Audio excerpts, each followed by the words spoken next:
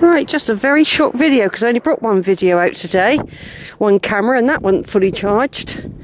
Anyway, I'm down at um, Woodspring Priory area. I noticed the gate was open down to where the old pier used to be here, the MOD place. Met a very interesting bloke a minute ago from something England, and um, he was just showing me this piece of coral or reef stuff that he found to do with tube worms. This honeycomb tube worm attachment he showed me. He said, which aren't that common. I was telling him all about the pier, all about the priory and everything round here. But I've been here when this was a pier here, where there were pillars going out from here out to there. There are pillars, and you could walk out. I've been, I've walked everywhere around here. The gate was open. Half the fences were down, so. But they have got lifeboat men practicing on the hovercraft today, so it's quite possible that they have got the gate open, ready for picking up the hovercraft. So I've managed to sneak in to do a very short video. That thumping you can hear is something they're doing up there. Somebody thought it was fracking. Others think it's Somerset defences near the River Banwell. They've been there for months. Maybe we've got going to get a rise in the tide, and it would come up the Banwell, wouldn't it? Affects everything. Now I've been videoing this place for several years now. I've been out here when there's been buildings on here. All gone now, all taken down. Once the MOD place, that mound there, I think there's still something inside that. And there was the rifle range. there's like a beach landing area up here, which the lifeboat people probably do use. Right, I've got to turn off for a minute. Right, I'm down the end bit. Typical, I've only brought this one camera half done as well, isn't it? Typical. Next time I could, I was only here just over a couple of weeks ago, and all this was fenced right off. You couldn't get in here at all, not unless you came down the side there through there. Big cables used to run down through here, big blue cables going under the sea that way in the past. And I'm going to walk now where I didn't walk before. Well, like I said, this is typical that my camera, I just didn't think of bringing two cameras, which I normally do, of course, but not today. Right, I've never been down this bit.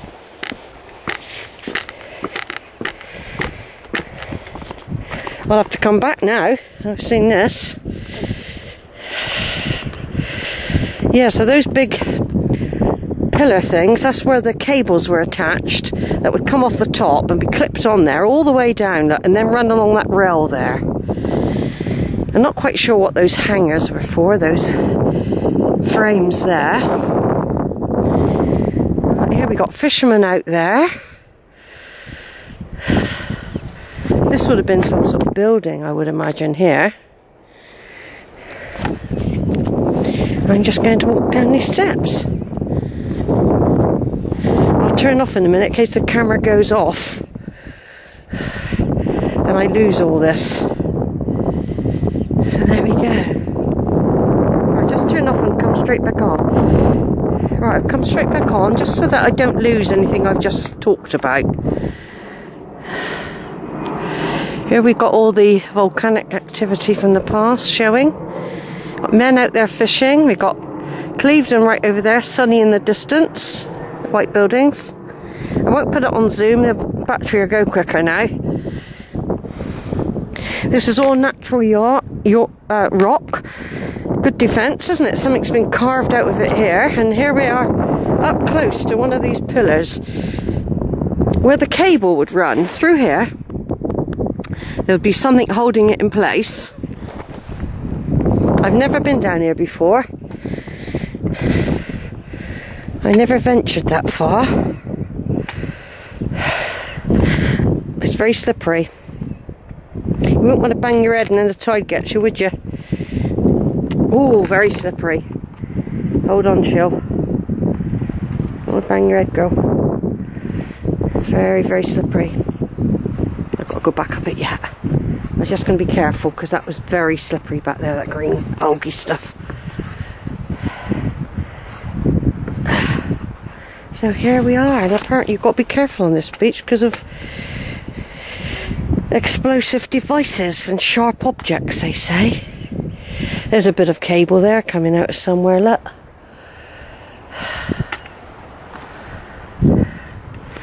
It'd be very tricky to go too far down because that seaweed would be really, really slippery. So I'll just go down a little bit down this little slipway. There's a little pillar there. See? A completely different view. I've never seen this view before. I'm going to stop again in a minute. I'll join all these together.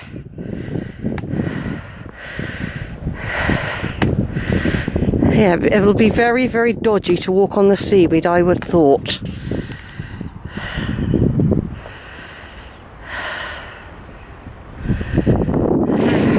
Wow.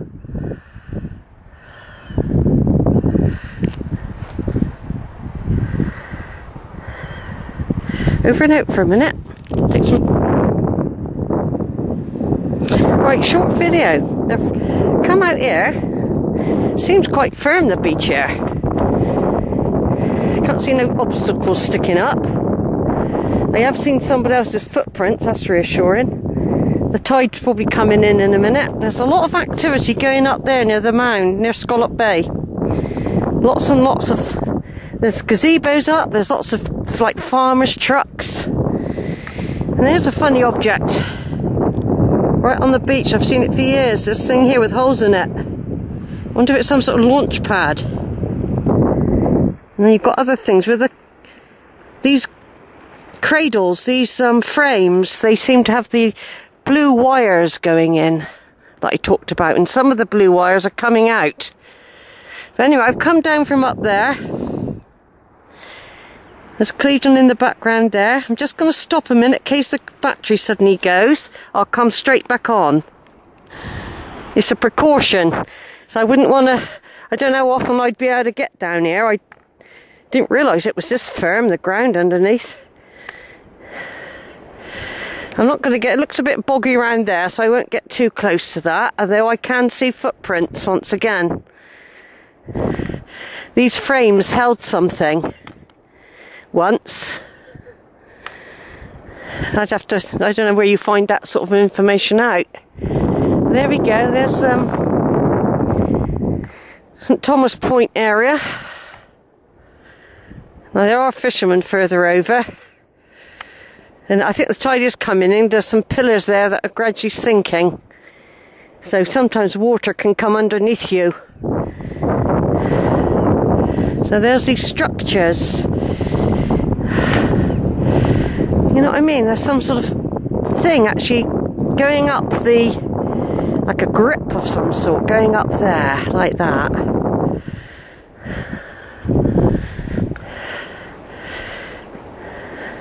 Just going to stop and take a picture of myself while I'm here a minute with these machines. Over and out. Right now, I now I've um taken a few photos and I'm doing another video. You can see how fast the tide is coming in now. There's a metal pipe there sticking up. And you can see from there, if you home in on that, you can see how fast that river ocean is coming in. It's coming in very, very fast now. Because there were some structures I could see even more, and they one's gone already.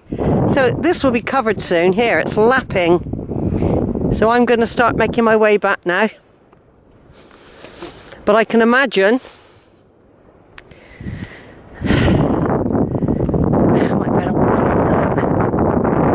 I can imagine.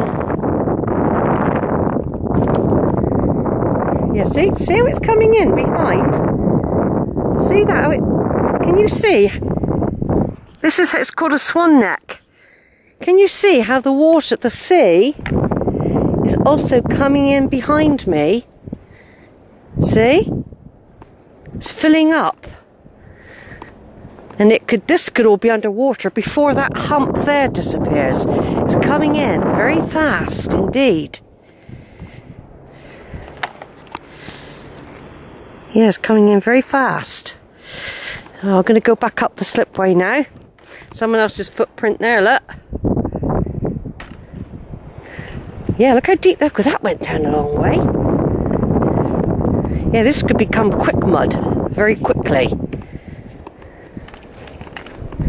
I'm going to get back over that happens. I just noticed, I remember that about Swan Neck, how water can come in behind you. Say you were over there, before you know it, this is all water. God, it's coming in real quick now.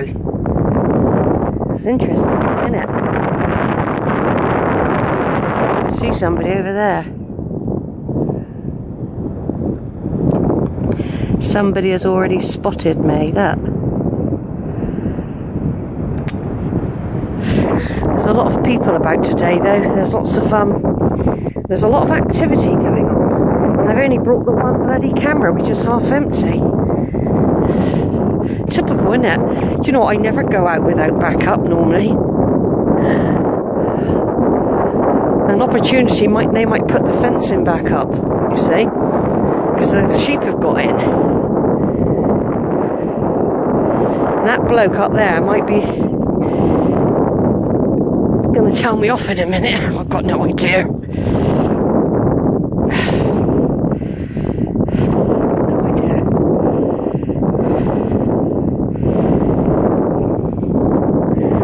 Right then, everyone. What I'm going to do is um turn off just in case I want to take any photos, as this becomes covered in water very soon. I would think.